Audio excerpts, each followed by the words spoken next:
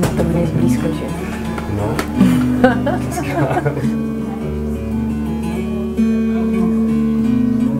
Londýn. No, taková, evr- eh, ne, ne, ne, ne, ne, ne, nahoru. taková, uh, nevím, evropská Babylonie asi, Londýn.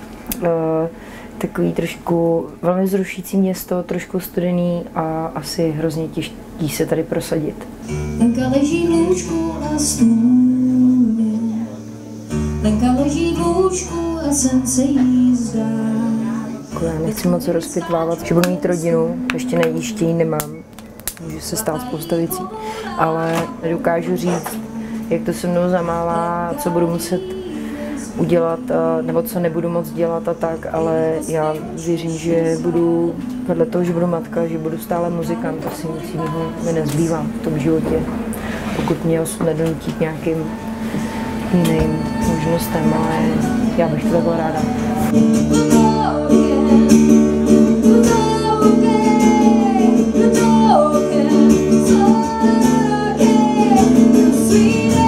Já se si cítím víc jako by mm, zpěvačka, performerka nebo vypravěčka a nějaký muziky, která se tvoří, výhradně ji nepíšu sama.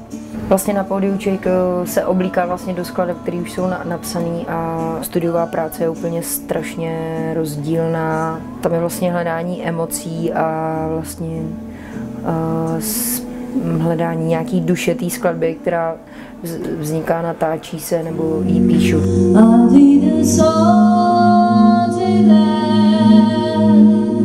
Hrála jsem poprvé sama v Londýně, no. Jsem mě vidělo pár tady lidí a to je fajn.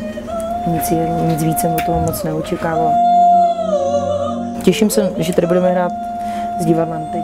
Čtyři představení, Step Before the Fall a Spitfire Company že to bude, to mi přijde mnohem větší dobrodružství.